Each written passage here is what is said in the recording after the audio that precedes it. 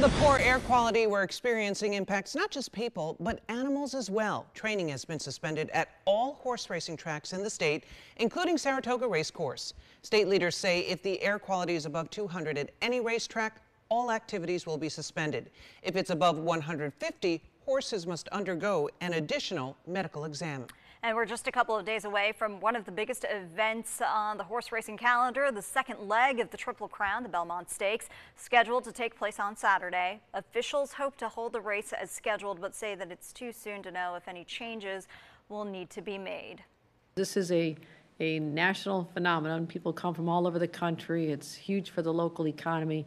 And so we want to, we hopefully can get this going, but there's no assurance of what the weather's going to be. So it's going to be a last minute decision, I'm sure.